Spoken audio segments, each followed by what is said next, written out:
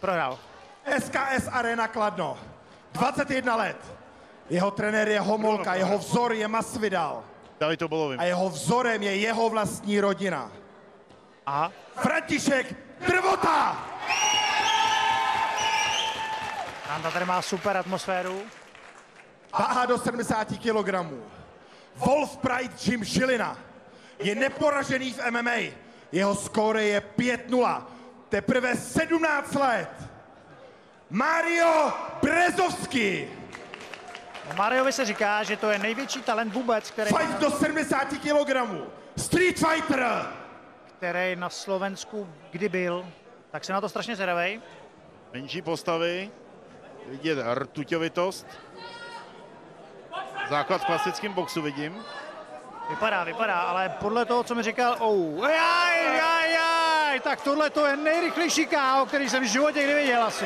Tak to bylo libový, ovšem. Oh, Ohoho, tak to se těším na zpomalení. Co to bylo? Round kick direct kick. Ne, round kick to bylo. Tak to jsem teda nečekal, protože Naprosto bez respektu Mario Brezovský. fakt, Tebe si hochu budu pamatovat.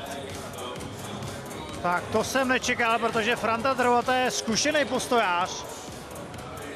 A tohle, to jsem teda jako snad ještě neviděl. Z téhle menší postavy, co má, takovou petelici v té noze. U těch 70 to není do, do, moc často viditelný. Podívejte se na to. A Franta Drvota ještě tady v podstatě v domácí atmosféře, protože jsme kousek od Kladna, v obchodní, obchodním domě šestka.